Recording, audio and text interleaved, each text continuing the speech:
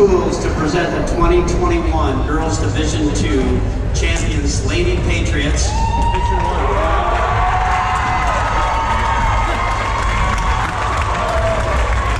Presenting today's trophy will be MACS Board member Tim Berlin, pastor Faith Baptist Church of Warren.